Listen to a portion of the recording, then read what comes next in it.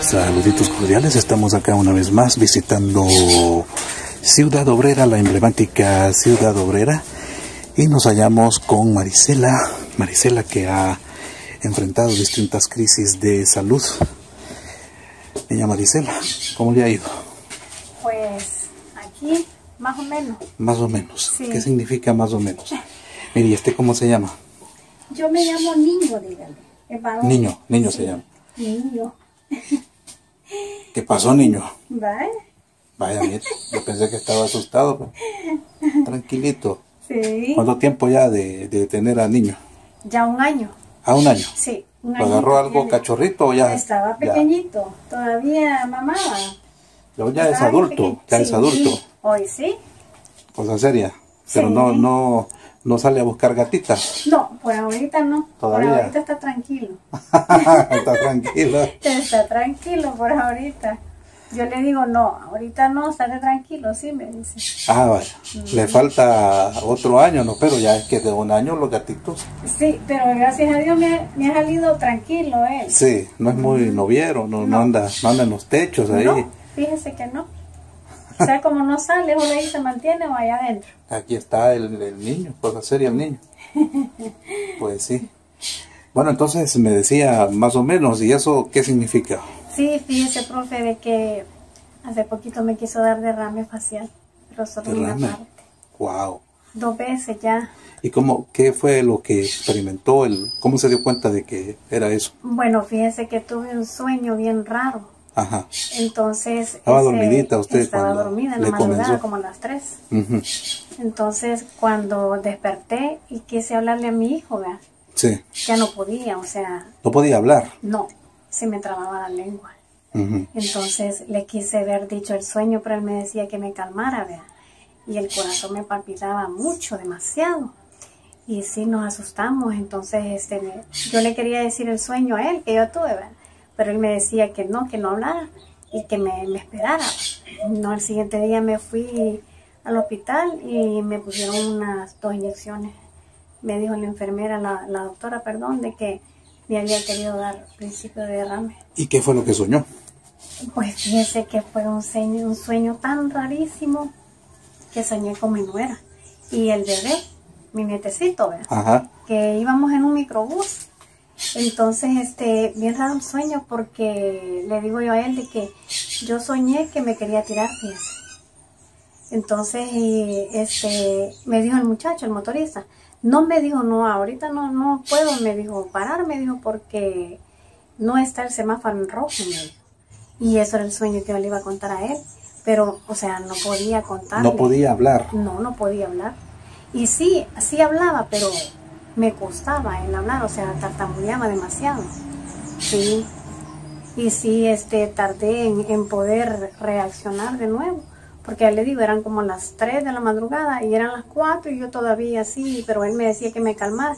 Ya yo fui un poco calmándome y respirando, pero sí, eso es bien feo, es horrible. Luego fue a la consulta. ¿Y qué le dijo el doctor? Sí, que me dijo la doctora de que tuviera un gran cuidado, que no me preocupara mucho, me dice porque quizás tiene muchísimas preocupaciones y yo le dije que sí, vean. Entonces me dijo, porque le quiso dar, me dijo, este derrame facial, pero solo en una parte. Sí, así me dijo ella. Entonces me pusieron dos inyecciones, porque me dijo de que, que eso había sido. Ujú. ¿Y cuáles son las, las preocupaciones más, más fuertes de, de doña Marisela? Pues fíjese que son varias, vea, pero lo que más, más me preocupa a mí es este no poder ahorita pues trabajar. Vea, este por como le conté la vez pasada por lo de la champita, vea. Entonces, pero yo sé que Dios provee y Dios tocó corazones y hace poquito una Me hace un favor, le dice al gallito que, que nos deje grabar tranquilo. Pero no es mía. Nada, son bromas, son bromas. Entonces, y ahí está que me regalaron ¡Ey! Cálmate. me regalaron unas laminitas ahí. Entonces me regalaron, quiero ver, cuatro grandes y tres pequeñas, vea.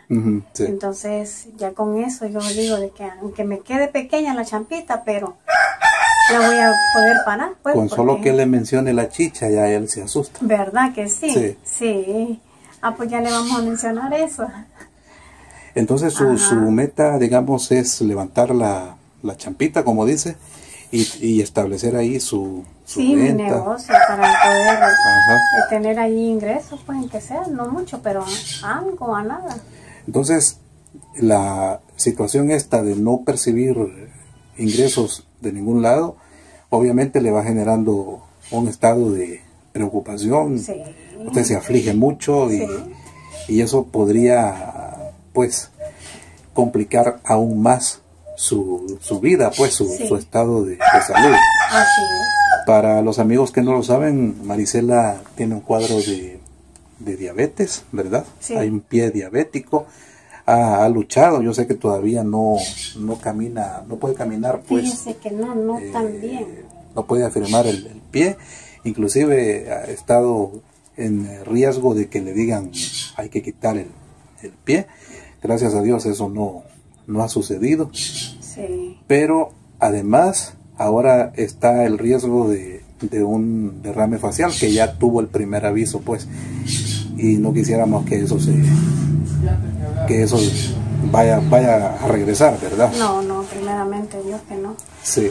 Mm, porque ya le digo, la doctora me dijo, tiene que estar más tranquila. Yo sé, me dijo que todos, me dijo, tenemos preocupaciones, me dijo, pero acuérdese que tienes un niño pequeño, me dice, porque yo le conté, ¿verdad? Entonces, Claro.